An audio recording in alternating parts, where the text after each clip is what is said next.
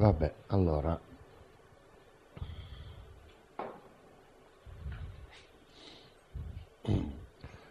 Quindi eh, ieri abbiamo, oh, poi oggi magari vedrò anche i vostri progetti, parliamo anche un po' insieme. Quindi ieri vi ho parlato e vi ho fatto vedere alcuni interventi eh, riguardo a, a cercare di capire cosa è stato il design, cosa è oggi e cosa potrebbe essere a partire da oggi. Quindi mi pare di, essere, di aver insistito più volte sull'aspetto culturale di questa attività, che è un'attività commerciale anche, che però richiede eh, una, una pertinenza dal punto di vista culturale affinché il mercato possa essere, innanzitutto si, si possa individuare il mercato esistente, ma soprattutto direi eh, individuare il mercato potenzialmente esistente, quindi futuro. Ecco, quindi la questione della maggior parte dei maestri che non, non, casualmente si chiamano maestri che vi ho presentato ieri, hanno lavorato con le aziende, ma prima di lavorare e durante e dopo, ognuno di loro ha creato un universo, diciamo, dei, dei posizionamenti, delle, eh, un po' come nella politica, no? un po' come in qualsiasi campo, ognuno se vuole far parte di un, di un dibattito deve avere qualcosa da dire, quindi ognuno se la deve creare la propria, quindi non è che ascoltando un, un Enzo Maeri così bisogna prendere tutto per oro colato, quello è lui, è il suo universo, poi sta a voi giovani e ognuno deve creare poi il proprio percorso in base alla propria sensibilità, cultura, potenzialità. Infatti ieri vi ho presentato, vi ho fatto vedere alcune cose della storia, alcuni interventi dei maestri e vi ho fatto vedere miei alcuni miei lavori che nel mio caso mi sono inventato la mia, la mia maniera. Ecco.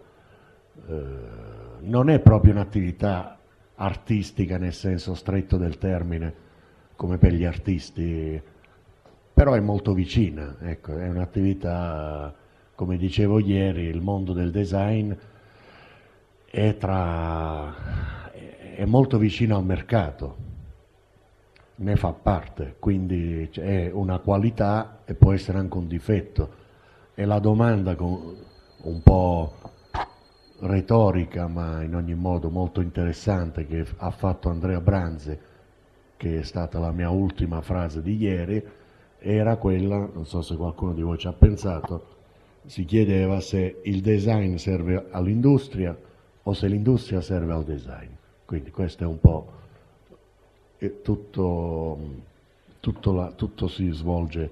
Allora io ora ho un dubbio se farvi vedere, però dovreste avere la pazienza di guardarlo, dura un po', dura un 16 minuti, magari poi c'è un grandissimo, forse il più grande storico del design che abbiamo in Italia, che è un napoletano, non so se alcuni di voi lo conoscono, che è il professor Renato De Fusco, che è un grandissimo storico eh, classico, molto bravo, e io ho trovato un suo video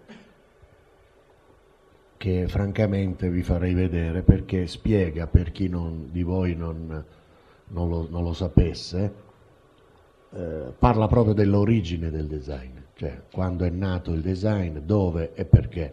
Il design è nato con la rivoluzione industriale, semplicemente perché prima le persone erano degli autoproduttori, appunto come oggi paradossalmente stiamo tornando, nel senso che i contadini si costruivano loro, i loro oggetti, no? col legno, con la terracotta, o, o il vicino faceva la zappa, l'altro faceva la...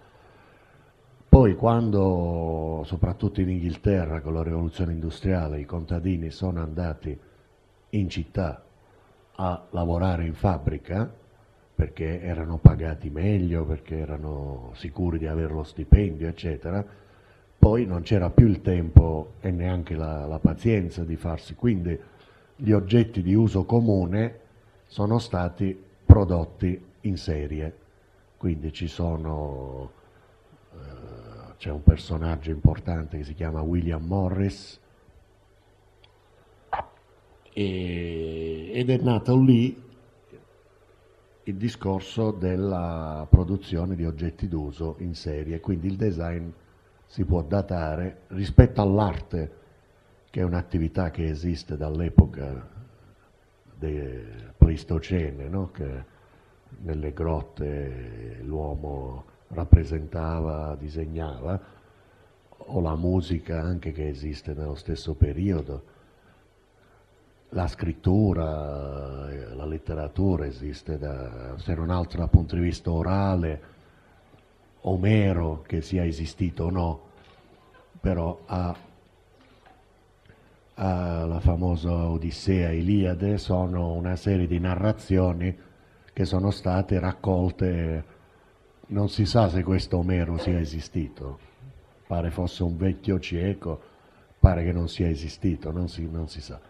Comunque per dire che invece il design rispetto a queste altre attività culturali è, una, è un bambino, cioè è una cosa che è nata da, da 100, 200, 200 anni, quindi rispetto alle altre attività è ancora tutta da, da inventare. Quindi io andrei, se riesco con questa faccenda del... vediamo un po', sì riesco, ecco. Allora, Renato De Fusco dura 17 minuti, però è fantastico. Quindi ascoltatelo con attenzione e poi ne parliamo.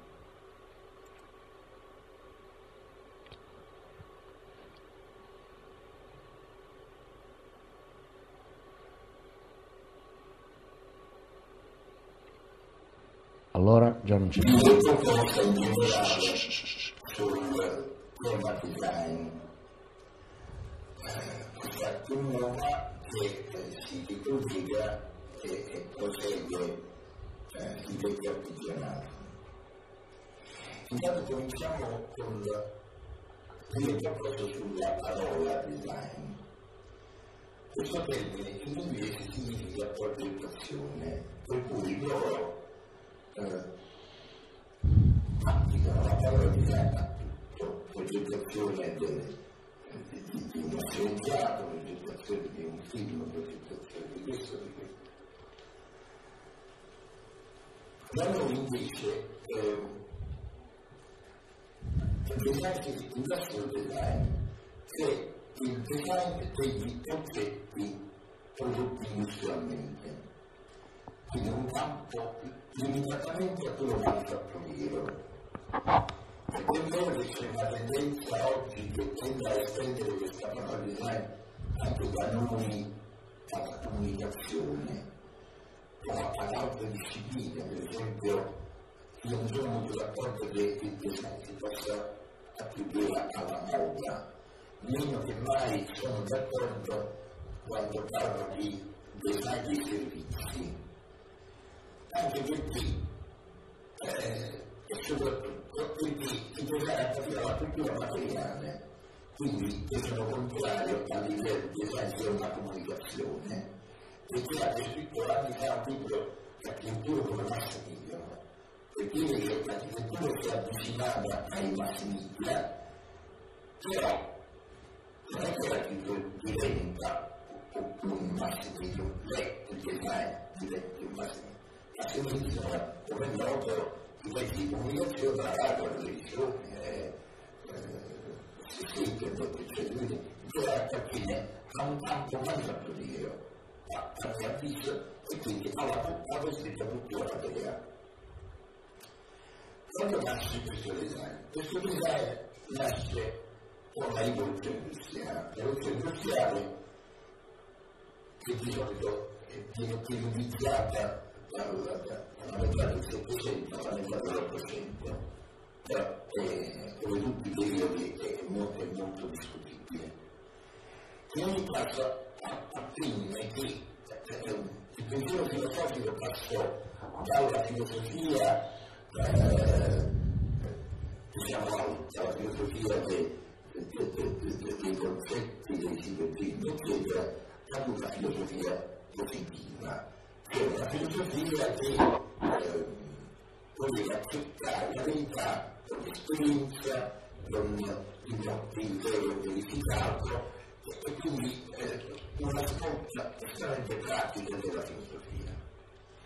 Questa svolta eh, portò a due cose. Sul piano eh, politico-culturale portò al, al liberalismo, portò al capitalismo, portò all'industrialismo, eccetera.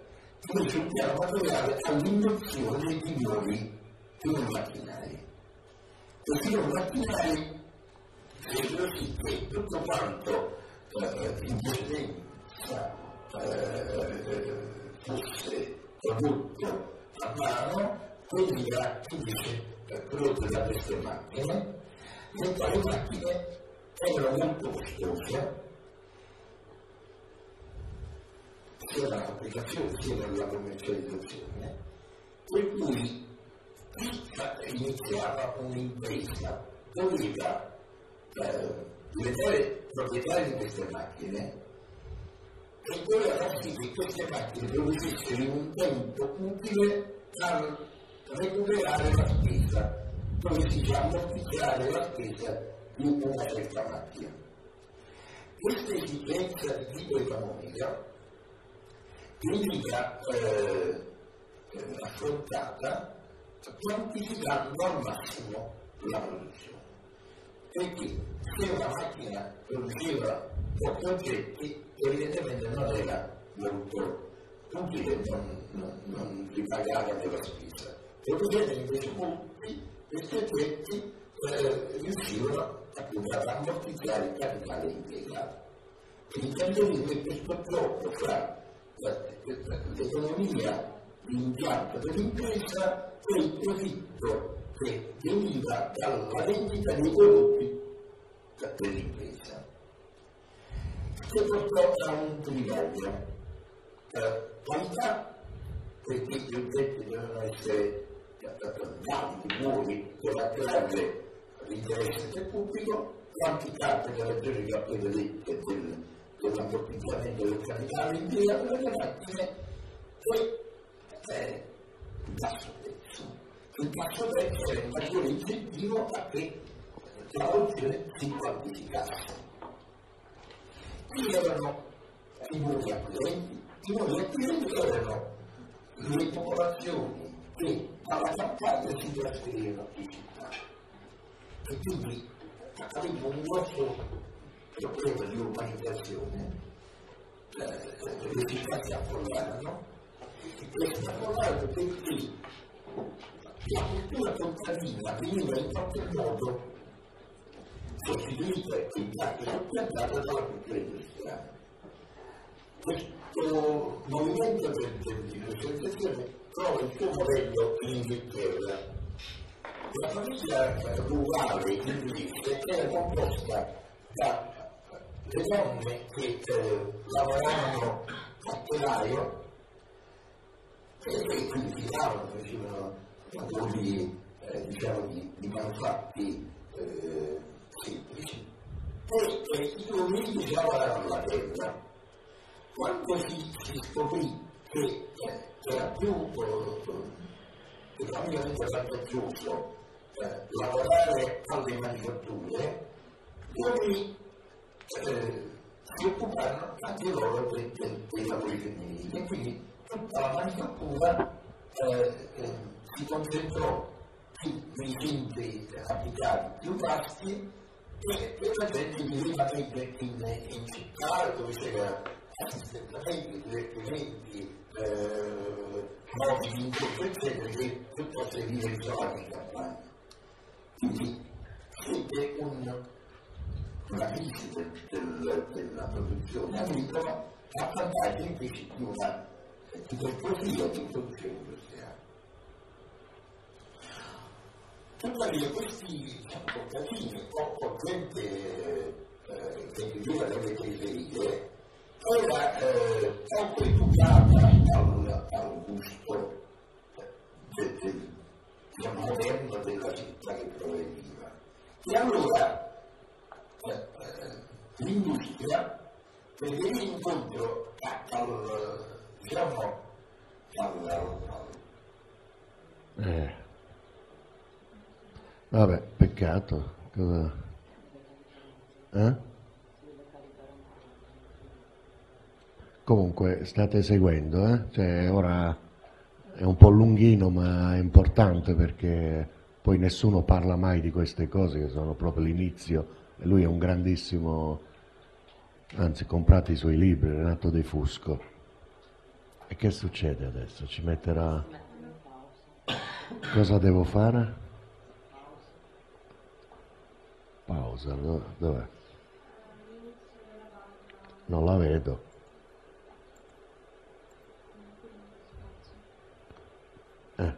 E poi? Ma come mai? A me non me lo fa mai, perché la connessione è lenta, no? Eh.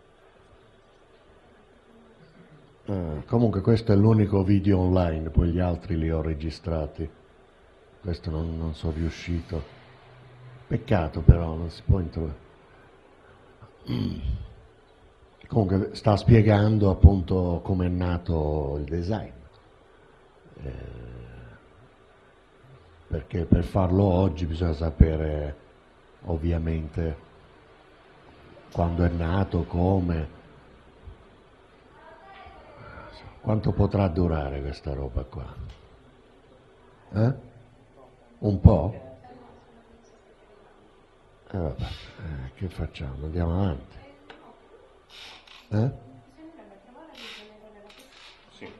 Che cosa?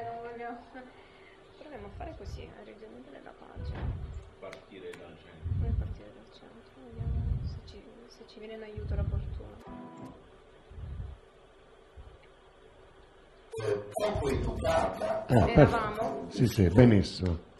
del, moderno della città. E allora eh, eh, l'industria vedeva incontro al, diciamo, al, al scetticismo di questi nuovi atleti di cui aveva qual-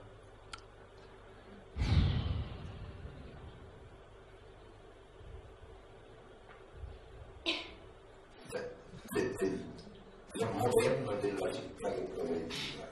E allora eh, eh, l'industria vedeva incontro a- al, diciamo, al, al scetticismo di questi nuovi atleti di cui qual- Beh, vabbè, va. E non lo so, che...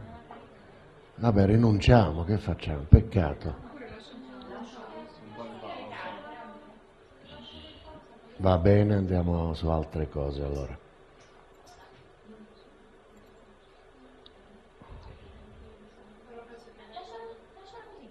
Lo sto lasciando. Vabbè, eh, dunque. Va. Sì. Io ho un Mac, è tutto un altro mondo. eh. È la connessione, no? Eh, certo. Eh, eh, vabbè. Vabbè, allora. Vabbè, parliamo di, ora, eh, saltiamo di palo in peccato perché questo era un discorso che andava sentito nella sua interezza, ora vediamo. Vabbè, ora andiamo su, come dicevo ieri, io faccio parte di un'associazione che si chiama Milano Makers, Ehm, quindi, ah, però anche questa è in rete, mannaggia, vabbè, proviamo bene, speriamo bene. Allora, questa è la presentazione, poi ne parliamo. Questo è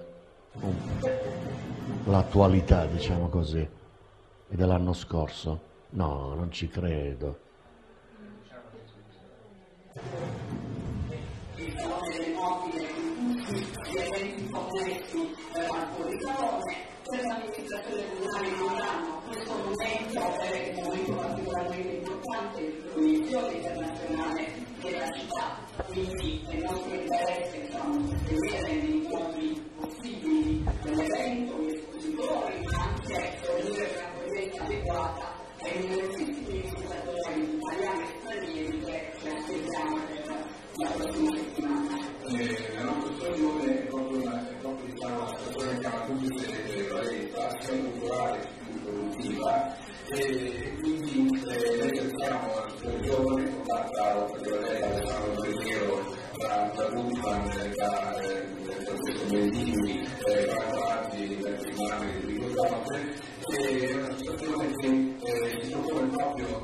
intercettare eh, questo grandissimo mondo della creatività che Milano e che spesso non riesce a trovare un momento di espressione, di visibilità per poi anche siamo convincenti legati alla possibilità di popolarità essere dei piccolissimi eh, con una lettura al, confronto anche con quello che può essere l'istituzione. D'altra parte una situazione come la nostra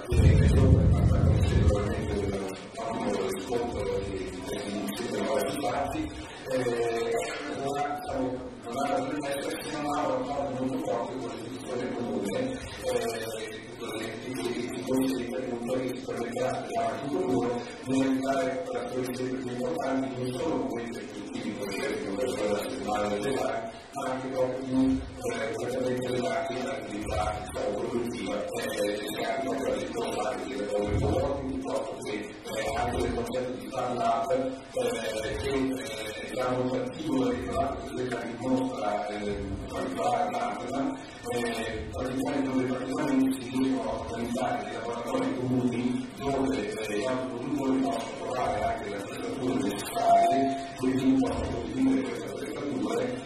questo ha anche un valore estremamente importante perché possiamo immaginare che oltre a essere di fare situazioni come quella del lavoro che è meravigliosa possono sicuramente essere avviati in situazioni più precedenti dove non avete bisogno di portare un servizio Vabbè, oggi mi sa che abbiamo un problema. Mi dispiace, io, cioè, io mi metto a parlare a questo punto perché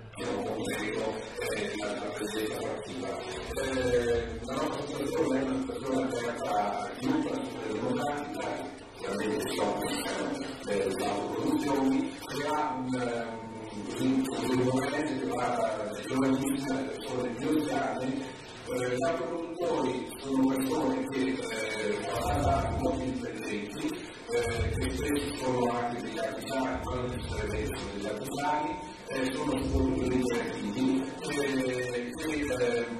che cercano diciamo, di avere una loro produzione che spesso non è dettata dall'industria e quindi è forse anche diciamo, più, più vera dal punto di vista delle, persone produttori e dall'altra parte diciamo che immagino anche di creare una rete tra loro e altre organizzazioni similari che potrebbe essere una maggiore visibilità.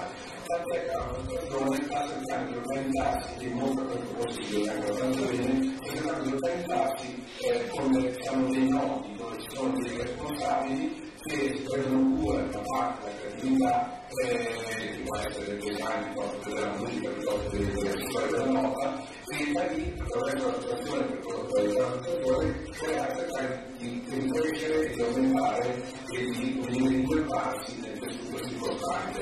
Molto importante per noi, come dicevo prima, il settore proprio che parlava, quel discorso di eh, collegarsi e di avere una visione ragionale anche legata all'estero chiaramente singolo da solo fare del corpo, la situazione invece può portare, porterà sicuramente i suoi produttori verso, verso anche le organizzazioni estere o verso il mondo delle diciamo, fuori dei confini, così noi accogliamo invece questo la procedura diciamo, da legislatura.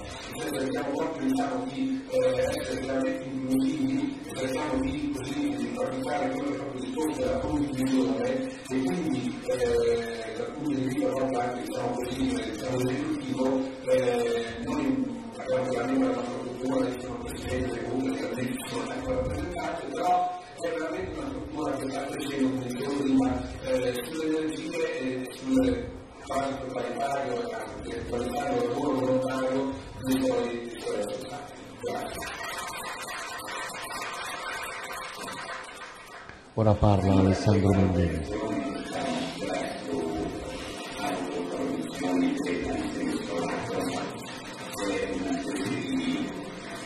Queste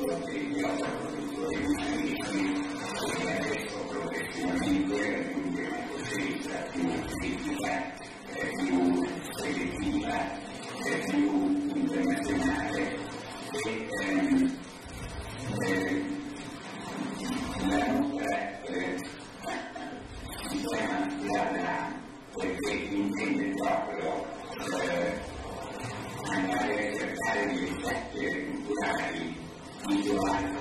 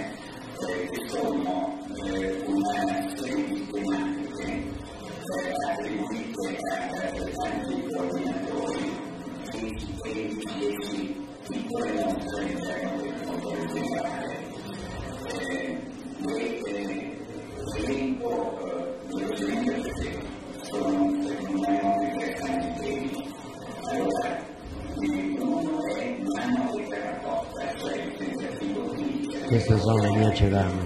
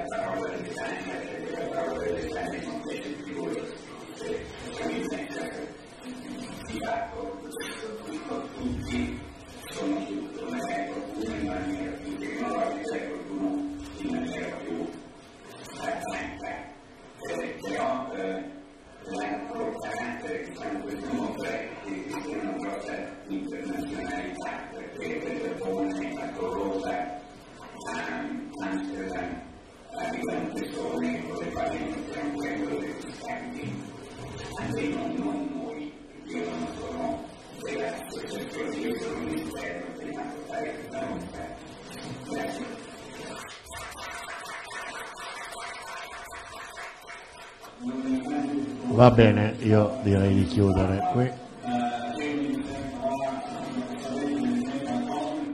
Dunque, ehm, dunque, avete ascoltato Alessandro Mendini, di cui abbiamo letto ieri alcune, alcuni testi e ne leggeremo un altro paio oggi.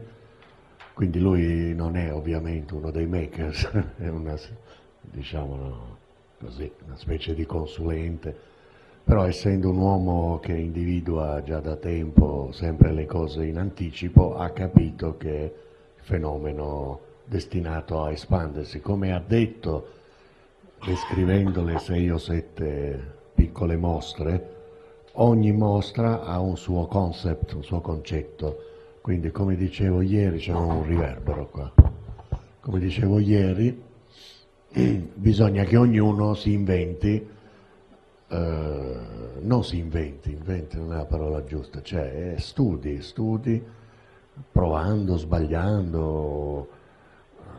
Eh, ci vogliono dei concetti. Il nostro e vostro presidente della regione usava ora meno sempre questa famosa parola narrazione, che la diceva ogni tre frasi. E in effetti questo è, perché l'oggetto poi faremo eh, questi schemi qui che ho fatto stamattina, poi le guardiamo, faremo un gioco insieme in cui posizioneremo gli oggetti di qualsiasi natura eh, nel mondo dei miti, dei boom, degli style symbols e degli oggetti di culto. Poi faremo un discorso su questa questione che riguarda la penetrazione spazio-temporale dell'oggetto. Però per il momento rimaniamo su questa faccenda del makers. Quindi il makers cos'è? È una specie di misto tra designer, imprenditore, artigiano, non necessariamente artigiano, direi imprenditore, se poi è bravo eh, a lavorare qualche materiale, perché no, che usa le tecniche tradizionali ma anche la, la famosa stampante 3D e altre questioni che, che stanno venendo fuori. La, la problematica è progettare, avere idee, realizzare, e poi vendere, cioè eh, esporre, eh, interessare e vendere. Quindi per vendere bisogna avere dei circuiti, quindi i circuiti sono questi eventi. A Milano, per questo ieri ho detto, datevi da fare se volete fare questo lavoro, di andare assolutamente ogni, ogni anno al Salone del Mobile di Milano del mese di aprile, perché è il momento in cui si incontra, nel senso anche simbolico, tutto. Quindi per esempio questo video che abbiamo appena visto era in un posto bellissimo, che è una ex fabbrica di... no fabbrica, non so cosa facesse, credo... Eh, che facevano? I treni? I, i treni, eh. Sì, sì, la fabbrica del vapore, esatto.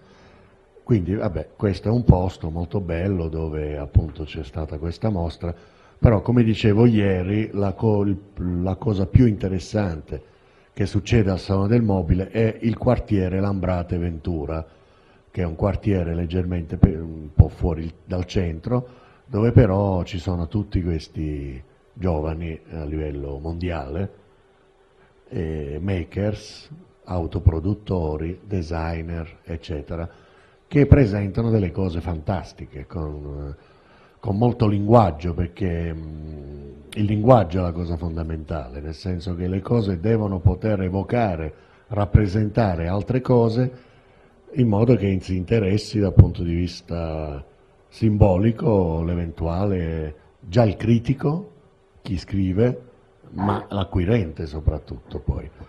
Quindi a proposito di questo bla bla, questa è un'invenzione sempre di Alessandro Mendini, che sono, durante la mostra c'erano questi video in cui ogni designer eh, parlava per qualche minuto, poi inventava, faceva... Io vi faccio vedere, ora li ho, li ho registrati, quindi non avremo il problema. Poi su Defusco non lo so, vedremo se riusciamo poi a, a tornarci. Ehm, dunque... Ehm, eccolo qua. Vi faccio vedere alcuni video di questo bla bla, eh, tra cui c'ho anche il mio, solo che non lo sto trovando. Com'è possibile?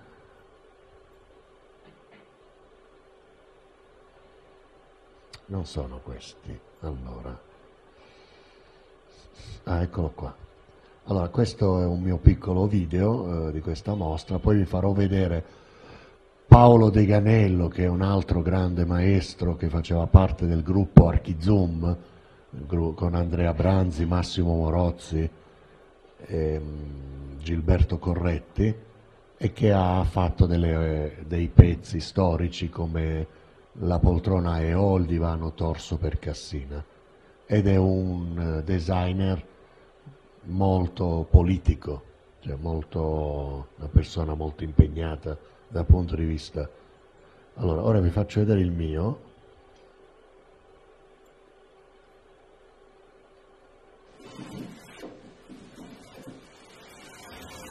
Qui è Cisternino.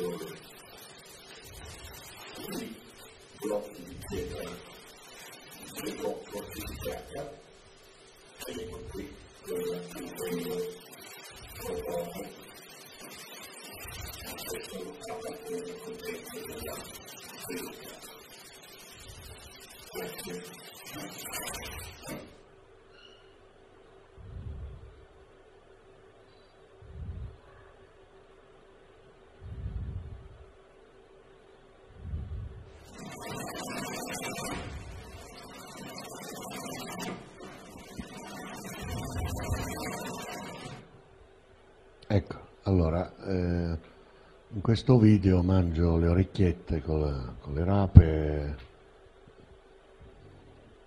ripetendo dei versi di Dante, no?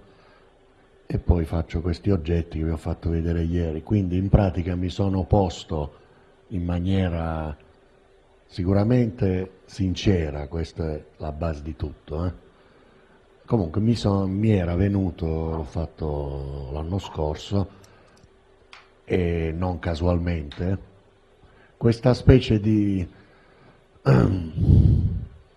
di post-linguaggio, cioè nel senso io insomma, ho studiato come voi, alcuni di voi architettura, altri ingegneria, poi ho fatto questo master in design, insomma ho più di 50 anni, quindi sono parecchi anni che ho studiato, ho lavorato per alcune aziende anche molto importanti, eccetera.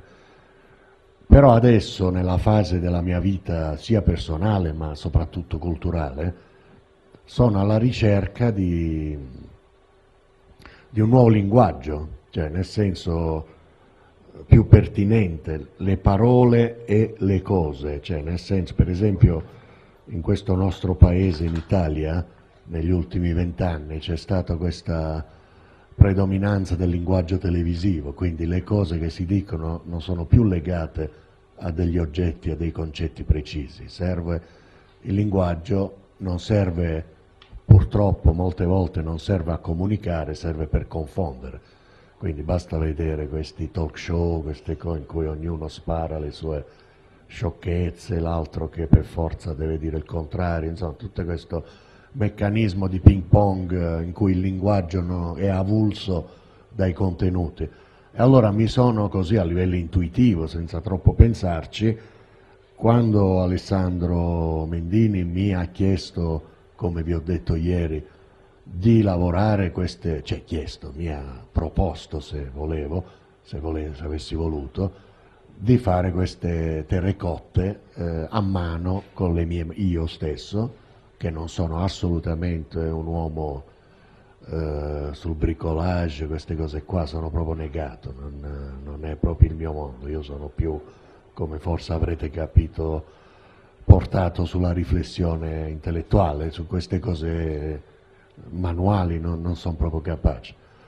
E quindi il tema era lavorare con le mani, non usare il tornio, non usare utensili, eccetera. Allora avevo cominciato, come vi ho detto ieri, a, a fare questi vassoi, queste cose, cercando di farli belli, tra virgolette, no? Voi sapete esiste il cosiddetto concetto del good design, che questo design cosiddetto buono, bello, eccetera. Comunque ora poi magari ne parliamo. E ovviamente essendo io negato con le mani non, non mi veniva fuori niente di buono, venivano delle cose strane, delle cose kitsch, ne abbiamo parlato ieri, quindi delle cose che avrebbero voluto essere un qualcosa ma non ci riescono. Quindi la tragedia è il kitsch, no? E allora mi è venuta questa elan vital direbbe, questo slancio vitale, Bergson nella, nella psicanalisi c'è questo concetto dello slancio vitale che ti salva quando sei in pericolo, per fortuna c'è questa specie di, di fuoco no? che, che, dice ti è l'intuizione, si chiama l'insight in inglese, che è una specie di illuminazione. Allora lì mi sono ricordato di quando ero bambino che giocavo con la, con la sabbia e allora mi, è venuta, come vi dicevo ieri, questa idea di fare queste palline, questi quadratini e di fare queste specie di oggetti mu tipo muretti a secco, insomma. Allora da lì è venuto fuori il video, che è un piccolo video girato con l'iPhone, così molto artigianale, il discorso dell'orecchietta con la rapa, di Dante, eccetera, una specie di ricerca del linguaggio primordiale, quindi dal punto di vista estetico di quei 4-5 oggetti lì, c'è questo linguaggio che per divertirmi l'ho chiamato del Pleistocene. Poi Dante, ovviamente, che è il fondatore della lingua italiana, no? il più grande poeta che abbiamo avuto, e le orecchiette con le rape, ovviamente, essendo io pugliese, è il piatto insieme al pureo di fave che più mitico non ci può essere. Quindi qui andiamo nel discorso dei miti, anzi eh, più che dei miti, nel caso, poi, ne, poi parliamo di questo schema qui, siamo nell'archetipico atemporale, perché per essere un mito, per esempio l'orecchietta con le rape, non può, non può essere inserita in quella griglia nei miti, però può essere inserita certamente nell'archetipo atemporale, perché? Se voi vedete le due coordinate, la coordinata x che sale in verticale e la coordinata che riguarda la capacità di penetrazione del territorio, quindi lo spazio, la coordinata y è il ciclo di vita, il tempo. Allora, se prendiamo l'esempio dell'orecchietta con le rape o della la grattugia cosiddetta barese, quella rotonda di acciaio, no? sono due oggetti che sicuramente non possono essere nell'effimero, perché l'effimero è, non so se leggete, leggete, sulla sinistra è a livello della linea del ciclo di vita, l'effimero vuol dire che è un oggetto che dura un tot, mentre sia l'orecchietta con le rape che la, la grattugia barese non sono effimeri per niente perché ce l'avevano le nonne e le bisnonne. Poi c'è il classico, che vuol dire che è un oggetto che penetra sempre, stiamo parlando sempre di tempo, non di spazio, attenzione. Quindi il classico, fino ad arrivare all'archetipico atemporale, che è sicuramente il caso, poi ci divertiamo a fare degli esempi insieme, di questo alimento e di questa utensile per la casa. Perché non è un mito e non è un boom? Perché e perché non è di massa e perché non è plebiscitario? Perché riguarda un territorio di nicchia, che è la Puglia o poco più, diciamo il sud dell'Italia. Quindi non ha la capacità di svilupparsi nel senso verticale per arrivare a essere un oggetto di massa, a penetrare il territorio, quindi uscire dalla Puglia, dall'Italia, dall'Europa, fino a diventare un plebiscito mondiale che è il massimo della penetrazione nel tempo e nello spazio. Un esempio di plebiscito mondiale è la Coca-Cola, nel bene o nel male, e l'accendino Bic di plastica, e la, per certi versi, come dicevo ieri, la Vespa, che sono degli oggetti che hanno avuto e hanno tuttora una penetrazione territoriale vastissima e una durata nel tempo anche molto. Quindi si posizionano in questa griglia nei miti. Questo vale non solo per gli oggetti ma anche per le persone pubbliche. James Dean, attori, Marilyn Monroe, eh, eh, Dante Alighieri, insomma, vanno in quel discorso. Oddio, no, James Dean credo sia lassù, nel, nel mito plebiscitario, se non altro, però Dante Alighieri, per forza di cose, è un po' più giù, nel senso che sicuramente nella, nella zona a destra dell'archetipico atemporale, ma per quanto riguarda la verticalità non, non, non arriva in Cina o, o, forse sì, ma solo in alcune classi di intellettuali, quindi io lo, lo metterei nei cult object in cui c'è una grandissima penetrazione dal punto di eh, scusate, eh, uh, un, un, grandissimo percorso temporale, si parla di un'opera del 1300, però e c'è una penetrazione che, vista la sua qualità di opera letteraria maggiore della nostra letteratura, va nei cult object. Poi, eh, in basso a sinistra, nella breve eh, come dire, ne, nella durata temporale breve e nella penetrazione territoriale breve, ci sono gli style symbols che sono molto segmentati, per esempio durano nel tempo, e la moda per esempio si, situa, si posiziona lì, durano nel tempo e nello spazio per un dato periodo, per un clan che potevano essere, quando ero ragazzo io c'erano i mocassini college inglesi, che li usavano i paninari di Milano, non so se voi sapete chi, chi fossero questi qua, però anche noi dalla Puglia che guardavamo certe trasmissioni, ogni tanto ci capitava, emulavamo questi, quindi è un oggetto di per sé di nicchia che dura, dura poi sono degli ottimi mocassini a dire la verità, però sono, sono diventati, erano diventati e si portavano con una monetina, un penny inglese inserito nella...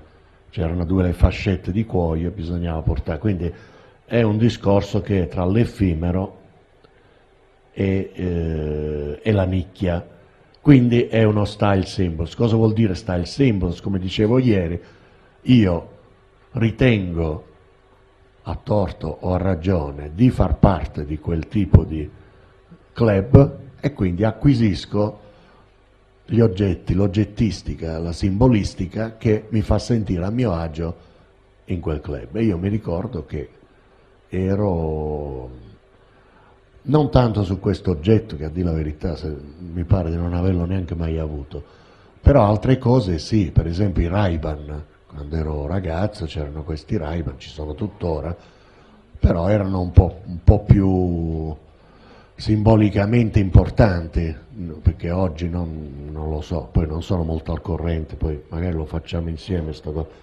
Io mi ricordo che vabbè, i miei stavano abbastanza bene, però non è che mi davano chissà quanti soldi. E allora c'era vicino a Cisternino, al Brindisi, la Nato, dove c'erano i soldati americani che avevano uno spaccio e vendevano questi Ray-Ban originali americani a dei prezzi più bassi. Quindi io fe feci salti mortali per andarmi a comprare questi Ray-Ban e mi ricordo che ero proprio felice, cioè questa è la parola, cioè proprio felice, per me avere questi Ray-Ban era una cosa di, di un'importanza capitale proprio, cioè, poi si può analizzare la stupidità, la questione, però non è l'argomento che, che direi di affrontare oggi, perché mi sentivo legittimato cioè che era una cosa che io dovevo avere per forza. Quindi questo è il consumatore. Inutile che uno dice eh, ma io sono superiore, non è vero. Chiunque nella vita ha vissuto delle fasi, che sia l'adolescenza, l'età giovanile, l'età adulta, la vecchiaia, cioè, ognuno ha i suoi style symbols, volente o nolente, che siano di nicchia locale o che siano plebiscitari. Allora, per quanto riguarda il boom, sono degli oggetti che hanno la massima di penetrazione del territorio, ma però non si spostano in questo senso a destra perché non hanno le caratteristiche intrinseche per diventare dei miti. Quali potrebbero essere questi oggetti? Io metterei i fenomeni internet. Vi ricordate l'anno scorso, due anni fa, c'era quel coreano che cantava Gnagnam Style, eh? ecco, che ha avuto credo un miliardo di visualizzazioni su YouTube, o forse di più, due miliardi, non lo so, cioè tipo mezza umanità, un terzo dell'umanità, vabbè c'è gente che ci sarà andata a 700 Ecco, quello è il classico boom, cioè nel senso che c'è il massimo della penetrazione territoriale è il minimo della, della penetrazione temporale, quindi è, è, un effimero che diventa style symbols, che diventa boom. Quindi è una specie di bomba, eh, spe come quando uno prende una medicina fortissima che proprio, o una droga, ecco, è un po' il concetto della droga proprio, cioè una cosa che sale proprio, che può creare anche dei danni, no?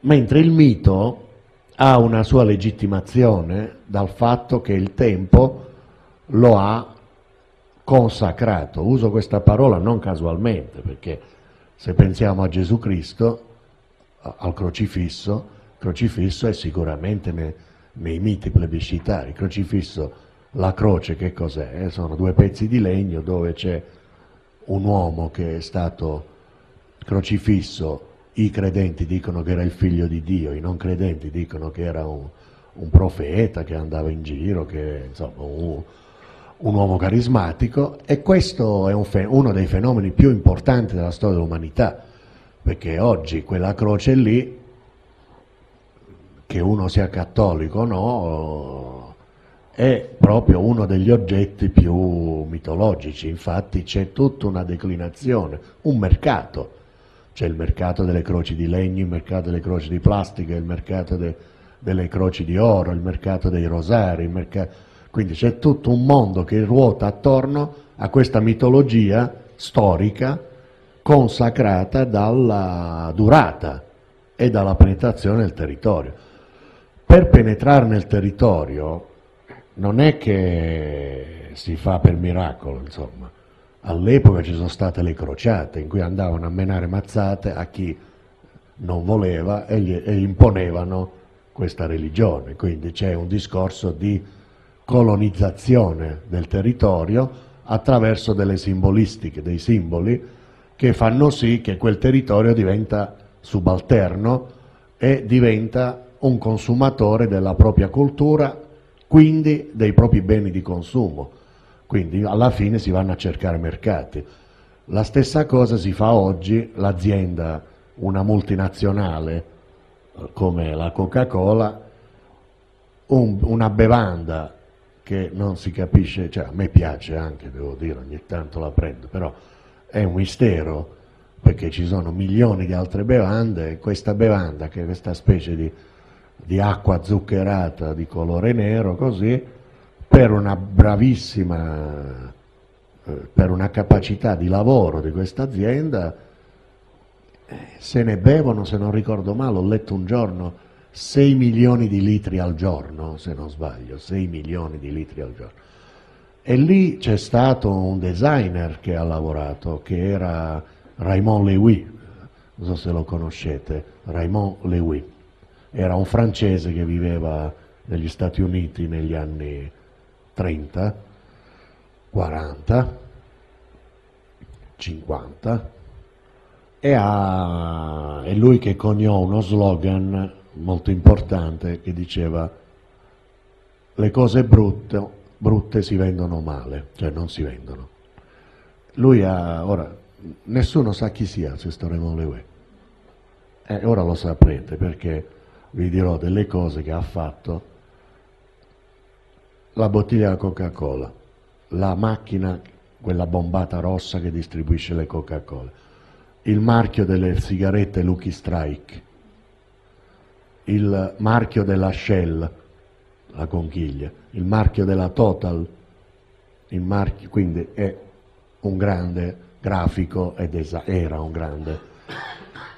E, ehm, e lui però, cioè non però, insomma, è stato uno dei designer che ha lavorato per il, per il mercato, perché poi, eh, ora dobbiamo parlare di mercato perché è fondamentale, lui non era, cioè lui era proprio uno che lavorava per il mercato, ha disegnato le Thunderbird che sono delle automobili fantastiche, delle locomotive e il suo la sua cifra stilistica, si, si dice, si usa questo termine un po' così eh, intellettuale, così, era il cosiddetto streamline. Stream, per streamline si intende la linea dinamica che rappresenta la velocità. Quindi questi oggetti un po' oblunghi, no? queste ogive, queste...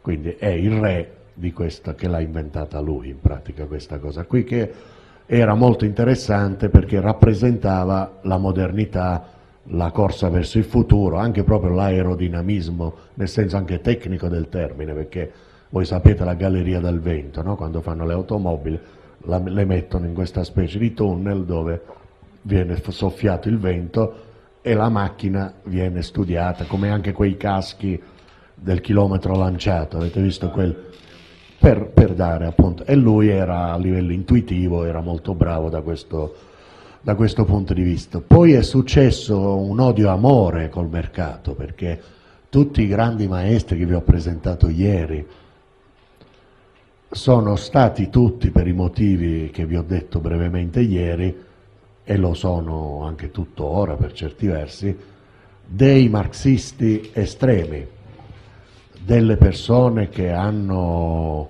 in qualche modo aderito nel loro percorso soprattutto giovanile alla sinistra estrema, quindi anche addirittura cioè, insomma, alla eh, potere operaio, democrazia proletaria, cioè, quindi ovviamente lavoravano contro il mercato. Quindi c'era questa specie di polemica mitologica di Davide e Golia in cui questi ragazzi dell'epoca che si, chiamano, si chiamavano, questo lo dobbiamo sempre a Mendini che è onnipresente, c'era questo gruppo a Firenze di Andrea Branzi, Massimo Morozzi, Paolo De Ganello, Gianni Pettena, eccetera. Eh, c'erano due grossi gruppi, grossi, non erano per niente grossi, ho sbagliato la parola, due gruppi di ragazzi, di giovani architetti, uno si chiamava Super Studio e l'altro si chiamavano Archizoom. Super Studio era, il leader era Adolfo Natalini, voi avete visto la settimana scorsa Lorenzo Netti, se non sbaglio, che lui si è laureato con Adolfo Natalini.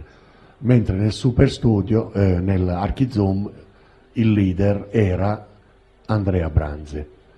Ed erano due gruppi che lavoravano sull'utopia, sull'architettura e il design, intesa non come professione, non come semplice mestiere, ma come modo di vivere, proprio come maniera di stare al mondo, come dice io sono architetto designer, mi muovo nel mondo in questa maniera qui, quindi a zero tutte le conoscenze che mi sono state date e invento, essendo io un creativo, una maniera di stare al mondo. Poi era l'epoca delle comuni, del, della, dell'amore libero, della, della marijuana, delle, insomma, era con quell'epoca lì ovviamente, no? Quindi sono, hanno creato, quindi il mercato non è sempre stato l'alleato del design, certe volte nella, nella strada, de, de, nel percorso, purtroppo quel video di De Fusco è stato interrotto, ma ora vediamo se si è caricato, eh, vedremo di ascoltare cosa dice. Certe volte il design, come nell'epoca in cui parlava De Fusco, che è proprio l'inizio, è stato al servizio dell'industria. Certe volte è stato un elemento critico di, di questa parola bruttissima di contestazione in ogni modo di rinnovamento del linguaggio, nel senso che è servito a smuovere delle acque. Poi se resterà il tempo vedremo un piccolo video di un grandissimo maestro, Ettore Sozzas, che lui ha inventato tante cose stupende, ma soprattutto lui era il marito di Fernanda Pivano, che non so se sapete, spero sapete chi sia, oltre a essere una grande scrittrice, era la traduttrice ufficiale in italiano beat, della Beat Generation, quindi Allen Ginsberg, tutti questi poeti e scrittori. Quindi Ettore Sozzas, tramite la sua compagna, ha conosciuto questi beat, Ippi, Ippi ecco. Quindi lui ha, lui ha portato nel mondo del design, perché lui ha cominciato con l'Olivetti disegnando i cosiddetti, si chiamavano all'epoca, calcolatori elettronici, che non erano queste, queste cose qua, erano grandi come sta stanza e l'Olivetti per una casualità eh, affidò a questo giovane architetto la progettazione del, di questi oggetti che erano fatti con le valvole, quindi ogni calcolatore elettronico, che sarebbe poi l'antenato del computer, era grande come sta stanza. Quindi il, eh, Sozzas poi ha fatto la famosa Valentina, che è quella macchina da scrivere di plastica rossa, poi però si è ammalato, ha avuto una malattia credo molto grave, e, eh, ed è stato due anni tra la vita e la morte in una clinica in California e il suo datore di lavoro, che era un grande, uno dei grandi italiani, Adriano Olivetti, che era un grande industriale e intellettuale, come ne abbiamo avuti altri come Mattei che l'hanno ammazzato, l'hanno fatto scoppiare in un aereo, eccetera. E mh, gli pagò questo soggiorno in questa clinica ed è stato curato e, se, e allora lì ha cambiato atteggiamento, si è messo a disegnare mentre era lì le cosiddette ceramiche delle tenebre, in cui insomma, del, eh, ha cominciato ad abbracciare la cultura indiana, la cultura hippie, in ogni modo la periferia, la periferia esistenziale dell'uomo, cioè nel senso qui si sta parlando di uomini, come nel caso di Mendini, vogliamo dire di potere, in ogni modo di classe dirigente, nomenclatura. Eh, Mendini è nato in una casa a Milano degli anni 30 dove c'erano dei quadri di De Chirico, di Carrà, quindi non è, dire, non è uno che ha dovuto eh, fare un'ascensione sociale, cioè nel senso è nato eh, nella classe dirigente. La stessa cosa Sozas. Dico questo perché? Perché la classe dirigente aveva e ha tuttora, ora sono molto volgari, tipo questi ultimi vent'anni, meglio che non ne parliamo proprio. Comunque diciamo che ha sempre avuto dei codici che si chiamano in genere i codici della borghesia della classicità. Quindi anche dal punto di vista della cultura materiale degli oggetti, una sedia di un certo tipo è corretta, una sedia di un altro tipo è scorretta. Si sta a tavolo in una certa maniera, non si sta a tavolo in un'altra maniera, eccetera, eccetera. Cosa hanno fatto Mendini, Sozzas e altri? Hanno aperto la porta con un gesto di generosità simbolica e hanno fatto sì, nel caso di Sozzas, che entrasse nel mondo del design la cultura pop. Infatti la sua azienda, non sua, nel senso l'azienda che lui ha, ha creato negli anni 80, nell'82 se non sbaglio, con un bravissimo industriale, un altro personaggione che io ho la fortuna di conoscere, che si chiama Ernesto Gismondi, che è un ingegnere aeronautico e proprietario della una delle migliori aziende di lampade al mondo che è l'Artemide. Quindi lui ha creato Memphis e l'ha chiamato Memphis in onore di Elvis Presley, in onore di altre faccende legata alla cultura pop indiana, quindi ha sbriciolato il concetto del good design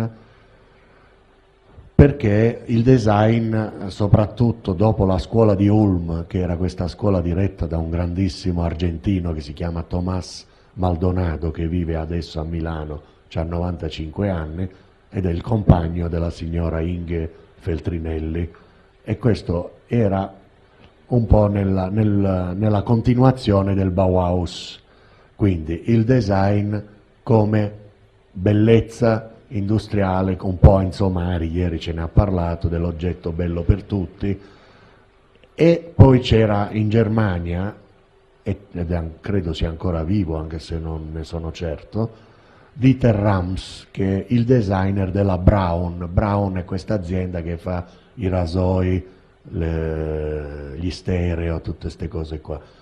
Allora c'era il discorso in cui loro credevano, quindi è importante credere e operare, poi la vita è fatta anche di opinioni diverse. Comunque questo Dieter Rams ha sempre lavorato sul concetto della tecnologia come black box, nel senso un oggetto funziona, è tedesco, funziona bene e ti puoi fidare quando è una scatola nera con dei bottoncini, quando non ha, quando ha questa austerità, eh, questo rigore, questo pauperismo che fa sì che dovrebbe rassicurare chi lo acquista che è una scatola nera, diciamo, è brutto, tra virgolette, poi in realtà non è vero che gli oggetti di Terrams sono bellissimi, Invece Sozzas, già con la Valentina, che è di plastica di colore rosso, ma poi soprattutto con Memphis, non so se avete presente delle cose di Memphis, sono questi oggetti, questi mobili coloratissimi, tipo i Lego dei bambini, così, ha voluto eh, lavorare col mondo del ludico dell'infanzia, cioè col linguaggio intendo dire, e con i linguaggi delle periferie, col linguaggio delle favelas del Brasile, col linguaggio del... Quindi ha creato, come ne parlavo ieri più volte, una traslazione da, da, un, da un paesaggio linguistico a un altro paesaggio linguistico per creare una nuova lingua che non è né quella delle favelas né quella della borghesia milanese, ma è una terza cosa. Quindi lì c'è l'atto creativo. La stessa cosa Mendini, in maniera diversa, col banale, col kitsch. Mendini dice una cosa bellissima, dice nei, nelle società occidentali ricche la casa è grigia, è minimal, gli oggetti sono puri, semplici, senza decorazione. Quindi uno più, più è colto, più è ricco, più fa parte della classe sociale e intellettuale dominante anche dal punto di vista economico, più la sua casa è, è clinica, cioè grigia, bianca, nera, qualche colore, però il tutto sicuramente senza decorazione, mentre più la società è povera, le favelas, eh, certi villaggi indiani, più, più, il paesaggio degli oggetti è policromatico e ci sono, ci sono le decorazioni. Quindi la decorazione sull'oggetto in un mondo basato su delle narrazioni anche popolari è, un, è uno strumento di comunicazione, quindi l'oggetto, la credenza dipinta con dei fiori che è un oggetto kitsch, che però in una, in una baracca di una favelas crea un universo di romanticismo in cui quei fiori rappresentano un picnic che, che, che la famiglia ha fatto eh, nella foresta amazzonica, no? non lo so. Comunque, in ogni modo, questo, questo, discorso dei linguaggi. Quindi, dal punto di vista di, di questa griglia, il linguaggio determina la, il posizionamento nello spazio e nel tempo, ma anche un altro fattore fondamentale di cui bisogna parlare, il prezzo. Ovviamente se un oggetto costa tanto, un mobile costa tanto, come era il caso de, degli, dei mobili Memphis, io mi ricordo ero studente, andai a Milano, mi ritrovai in questa prima inaugurazione, ero emozionatissimo, c'era Sozzas in smoking e scarpe da ginnastica, quindi già questo mi, mi colpì. E, e, vidi un po' queste cose incredibili, così, e poi guardai un po' i prezzi. C'era un, una specchiera, cioè un mobile, diciamo, non so come si chiama, è un mobile dove ci si specchia, dove ci si trucca, mia madre aveva una cosa simile, cioè, nelle camere da letto, come si chiama? Una toletta, però grande, di Michael Graves. Non so se sapete chi è Michael Graves, uno dei, degli architetti del postmoderno, che costava 45 milioni, una cosa del genere. Io all'epoca vivevo... Eh? Io vivevo con, con 140 mila lire al mese che mi davano i miei, no? Allora ebbi questo shock così. Vabbè, poi ci ho ragionato su negli anni così ed è giusto che esistano queste cose, poi non so se avremo tempo. Comunque in ogni modo un oggetto che arriva a quel prezzo è per, per ovvie, per la sua caratteristica proprio di prezzo, ma non solo di prezzo, non solo, ovviamente sta qua può stare, può stare qua, ma non può mai arrivare né qua né là, perché chi ce li ha? Non solo chi ce li ha, chi ce li mette, perché il problema non è chi ce li ha, perché di gente che ha i soldi ce ne sono un bel po'. Bisogna vedere dove li mettono questi soldi. Ieri si parlava di questo trittico di Francis Bacon, questi tre quadri che è stato venduto a 140 e rotti milioni di dollari a, a New York. Quindi questa è un'ottima notizia che quei soldi invece di andare in una speculazione finanziaria a Dubai, sono andati nell'arte, quindi questo può essere utile a tutti gli altri artisti. Comunque sono discorsi che abbiamo già fatto ieri. Io adesso vi farei vedere, poi magari insieme eh, facciamo un break dopo e vediamo di posizionare in questa griglia, poi ce ne sono un altro paio, vi faccio vedere un video di Paolo De Ganello che è uno dei membri di questo gruppo Archizoom che è sempre nell'ambito di questa mostra Makers e questa faccenda e qui parla proprio dell'autoproduzione giovanile. Poi vi farò vedere alcune cose del Fab Lab che ho io lì dove insegno in Bretagna. Molti progettisti, disoccupati, pensano di autoprodurre per poter mostrare di esistere. Le possibilità davanti a loro, la prima, grandi artisti.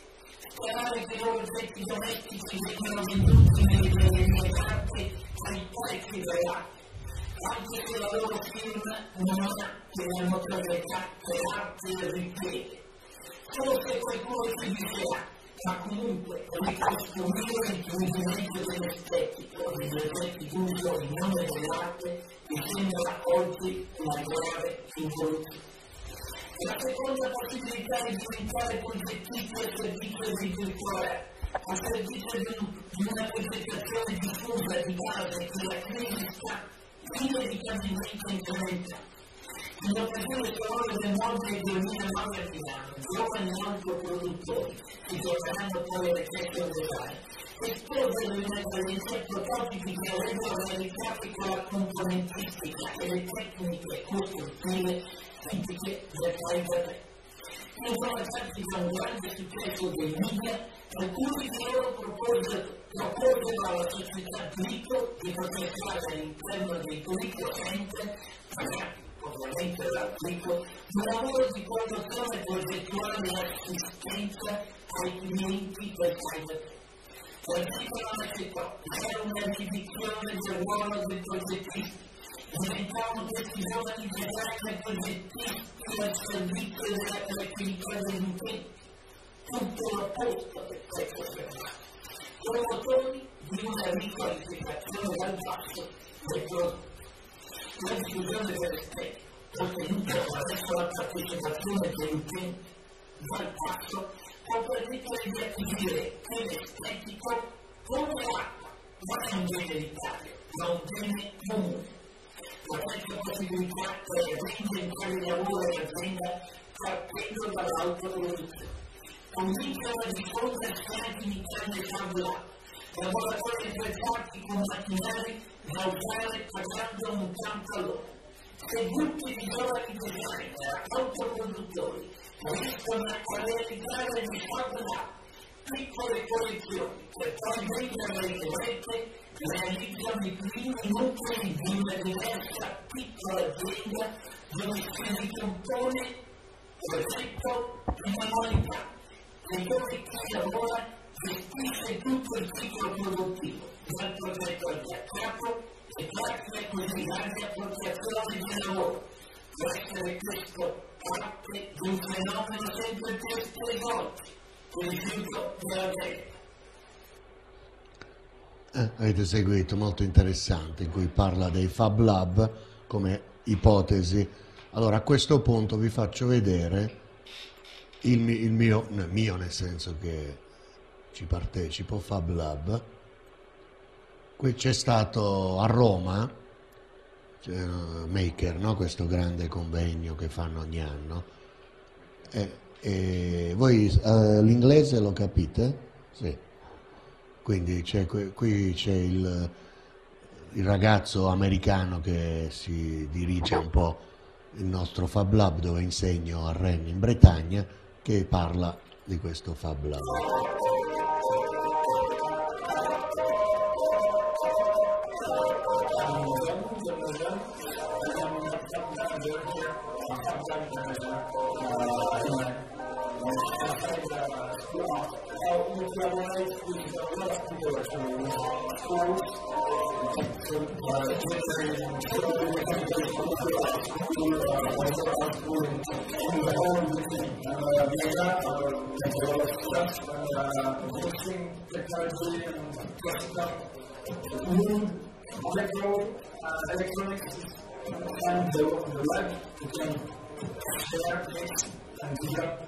tanto tan directo como posible before it goes kind of uh, and lead. Without subject protection, you have scoring remaining in high school for three, for three, three day events, totally free and predictive. This is the first, because you don't want to be only I to see some kids going outside, or some veggies and stuff like this. So to be open to the public. And goal here, uh, that's why I'm working, is to having grading this development inside the school for a lot of problems to solve in the, in the and uh, they have to be open, open-minded, and technically state that Federation has to, use the tool for the third to itself because uh, the must use the tool of the person. So what do you think and the what? So, activity doing something, education the uh, and uh, maybe uh, a house, uh, uh, fabrication of a house uh, ideas, uh, I can mix uh, in a proper way, the whole. And it's uh, house building in a practical way. And I don't use uh, CNC, just uh, to show how uh, all of these different of stuff can be open. Even if it's a house or a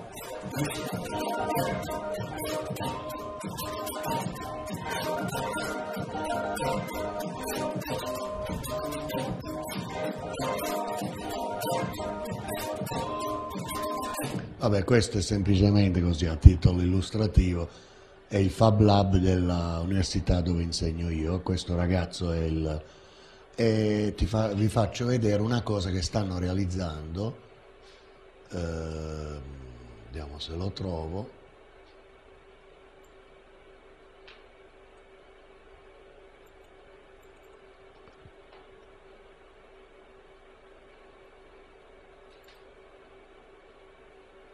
Forse è questo, sì. Però temo sia in francese. Non so se seguite il francese per caso. Vabbè, poi ve lo trattate piccolino. Fan- stanno lavorando su una mano.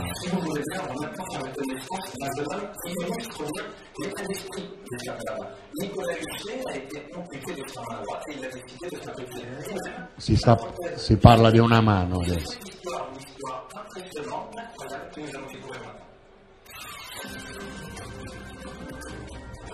Le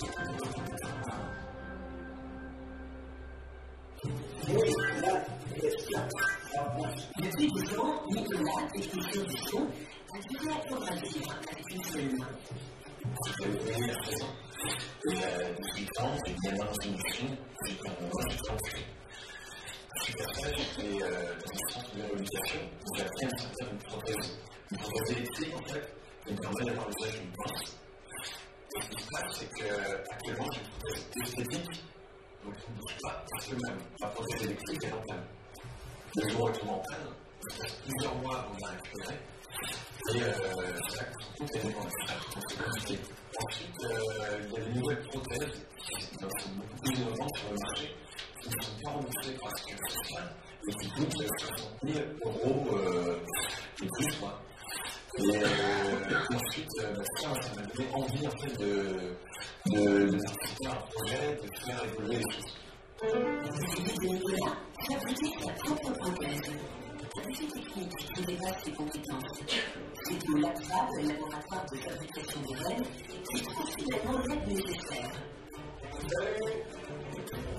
Comme des centaines de Fab Labs dans le monde, il s'agit lieu ouvert à tous. Les participants s'entraident, partagent leur savoir-faire et utilisent ensemble les outils de fabrication pour donner cœur à leur projet. J'ai directement les voir, leur demander si on pouvait construire un euro, comme dans Terminator, machin. Donc ils m'ont pris au sérieux plutôt que de en déconnant. Et puis, et puis, quand ils ont vu que j'avais un handicap, j'avais effectivement une prothèse, là, ils carrément posé des questions, ils me demandaient comment ça fonctionnait, et que ouais, on pourrait construire une main, et qu'en plus, ils avaient des projets euh, sur le handicap dans la donc, euh, donc c'était super pensé. C'est tout suite intéressé vraiment à ça. Donc, euh, moi, quand je suis de, ce rendez-vous, c'était vraiment. Euh, je voyais aller autrement, quoi. C'est vrai. Je voyais choses autrement. Dans la salle, on trouve des personnes de tout genre, des étudiants, des moyens d'emploi, des ingénieurs, des retraités. C'est ça endroit que je connais aujourd'hui où on se demande pas un diplôme pour intégrer la société. On va apprendre à de la Chine, puisque la réalité pour le projet. Et là, on en fait. Cette communauté des méthodes, ceux qui fabriquent eux-mêmes leurs objets, participatifs et fiches. Le premier maillon de la chaîne de fabrication est souvent Internet. Les sites de partage d'objets permettent de télécharger des plans sur le principe de l'open source, c'est-à-dire un accès libre et librement modifiable. Ça va être Ah, les mots de partition, c'est là. Là, tu télécharges. Cette mot est l'œuvre de Gaël Langevin, un designer parisien qui a décidé de partager son savoir-faire en ligne. Depuis 27 ans, Gaël crée des objets pour le cinéma et la publicité. En parallèle son plaisir, il dessine et construit de toutes pièces le robot Edmund. Il met les pieds sur Internet en accès libre pour que tout le monde puisse les reproduire. Mais sa grande surprise, il est à la superbe de demande pour transformer la main du robot en prothèse. Une application pour laquelle elle n'est pas conçue. Et parmi toutes les demandes, celle de Nicolas. Au départ, en fait, j'étais un petit peu surpris que les gens euh, auraient vraiment tout servi de cette main pour en faire une prothèse alors que sur le marché, il y avait une nouvelle société qui sont spécialisées pour ce genre de, de produit. Mais une fois que j'ai découvert le prix de ces mains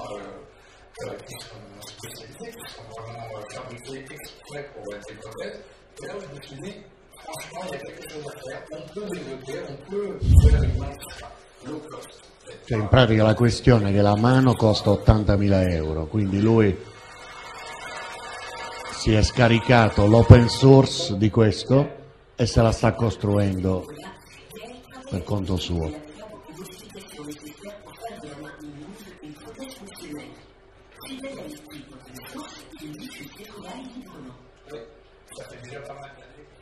Linux, source, et puis ensuite euh, Blender, les logiciels qui sont en open source, et à chaque fois je profite de ce qu'on trouve sur Internet en open source pour, euh, faire une création euh, personnelle. Et, en fait, euh, lorsque j'ai fait la main, de la mettre en open source, ça permettait de redonner un petit peu ce que moi j'avais euh, utilisé. Je pense qu'on a la possibilité aujourd'hui de partager nos connaissances plutôt que de toujours vouloir vendre des choses qu'on fabrique. Deuxième étape, la fabrication. À partir d'un plan téléchargé, l'équipe de la FAB va construire la main doigt par doigt grâce à l'imprimante 3D. C'est quoi la limite du fichier pour le pour l'utilisateur Cet outil de fabrication est omniprésent dans les Fab car il est peu coûteux et permet de fabriquer rapidement des formes très diverses. Pour créer l'objet, l'imprimante 3D empile des couches successives de plastique fondu ou de poudre métallique sur le plateau. Troisième étape. Une fois la main assemblée, il faut à présent créer un système motorisé, permettant à Nicolas de contrôler à sa guise l'ouverture et la fermeture des doigts. C'est la différence majeure entre la robot originale et la prothèse. Plutôt que de commander les doigts avec un clavier d'ordinateur ou avec une commande vocale, on a utilisé en fait des capteurs musculaires qu'on a placés sur mon bras. Les contractions d'un muscle envoient une impulsion électrique au capteur, transformée ensuite en mouvement de la main. Cette transmission du signal est assurée par un circuit électronique, véritable cerveau de la prothèse. Ce circuit est un microcontrôleur qui reçoit les signaux électriques recueillis sur le muscle par le capteur, les interprète et les transforme en ordre moteur pour faire bouger les doigts de la prothèse. Véritable couteau de l'éclair, ce microcontrôleur peut servir à tout type d'application. Il s'agit de fermer une porte de garage, de faire un rôle ou de commander une prothèse.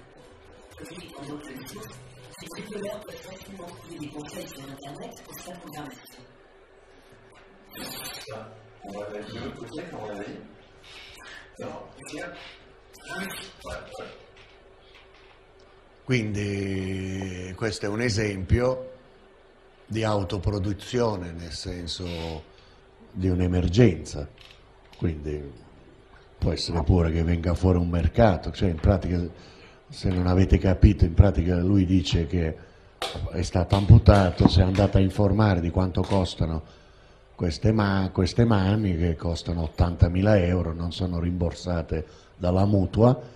E allora è andato a fare una ricerca, ha trovato questo inventore che fa questi robot che poi mette in open source, quindi è molto importante il concetto dell'open source, dello scambio, e si sono sentiti e poi nella nostra scuola, insieme a- agli altri ragazzi, così si sta costruendo questa mano. Quindi c'è anche, oltre alla questione commerciale, economica, c'è anche una questione di uno che si, st- si sta facendo una, una mano, insomma, diciamo.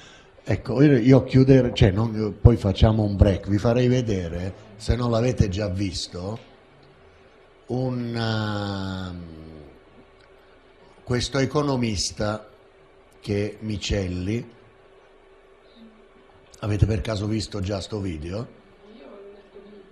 Il libro l'avete letto? Allora, qui, prese- qui fa un intervento a Padova sull'artigiano del futuro e ce lo guardiamo e poi parliamo.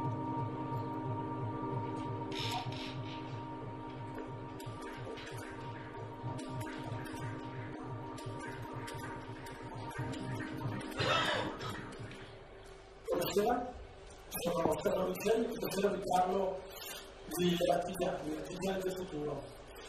Magari proverò ad allargare il campo, magari proverò a parlare di quello che potrebbe essere la manifattura italiana nel futuro, ma andiamo per passi.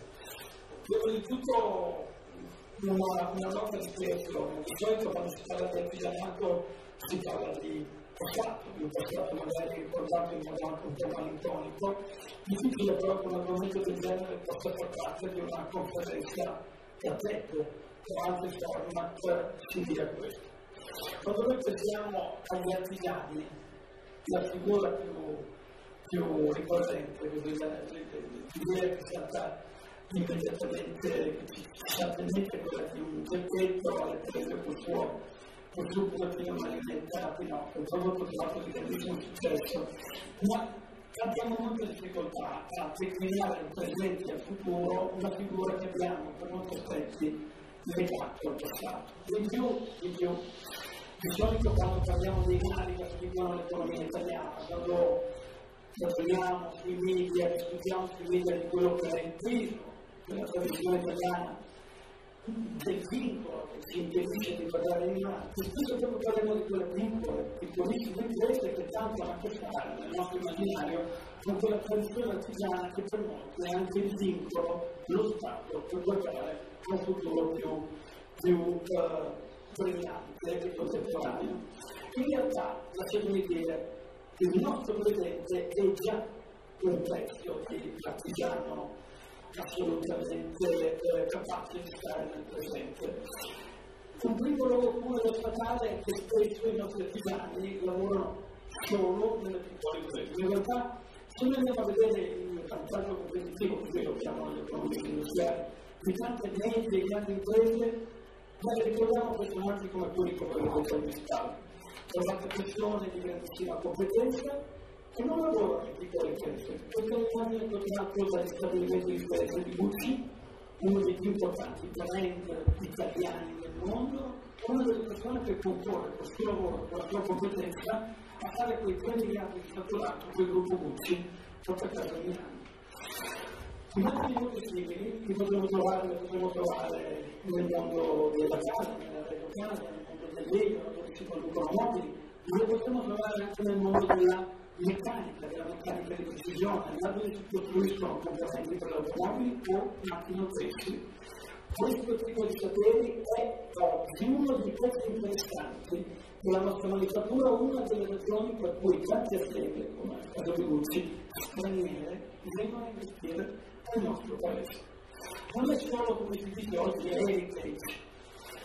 Oggi, secondo il luogo comune, quello che sto da voi, il lavoro artigiano in Italia parla anche la lingua dell'innovazione. Questo che vedete alle spalle è un signore famoso, molto famoso all'estero, è un signore che ha inventato una cosa che si chiama scheda Arduino, un controller, una scheda, un piccolo computer che consente di far parlare internet i nostri computer come persone.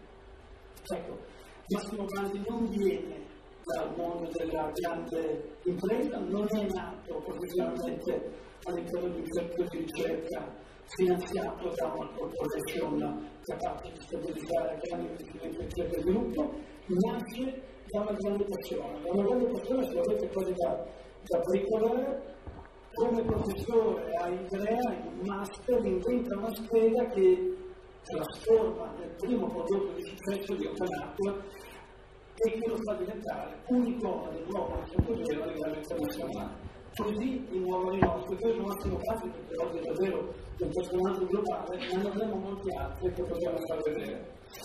Perché oggi questi casi interessanti che vi ho portato all'attenzione devono essere in qualche modo presi molto sul serio. Perché nel futuro possiamo immaginare una nuova sfera di artigiani molto digitali, molto internazionalizzati, molto contemporanei, capaci di fare un pezzo importante dell'economia del nostro paese e in generale dell'economia del mondo. Perché siamo di fronte a una grande rivoluzione che voi vedete bene semplificata in una bella copertina dell'economia scritta per anni fa, che ha a che fare con la terza rivoluzione industriale la prima, la ricordate, quella del vapore, che nasce in Inghilterra fino al Settecento, la seconda è quella più americana, della seconda metà dell'Ottocento, e la terza è quella che ha a che fare con una nuova idea di manifattura, che mette insieme il digitale, signora computer, con la produzione. Disegniamo un aspetto di questo disegno che trovo molto azzeccato. Da quel nastro trasportatore delle spalle vedete scrivere pezzi tutti diversi l'uno dagli altri.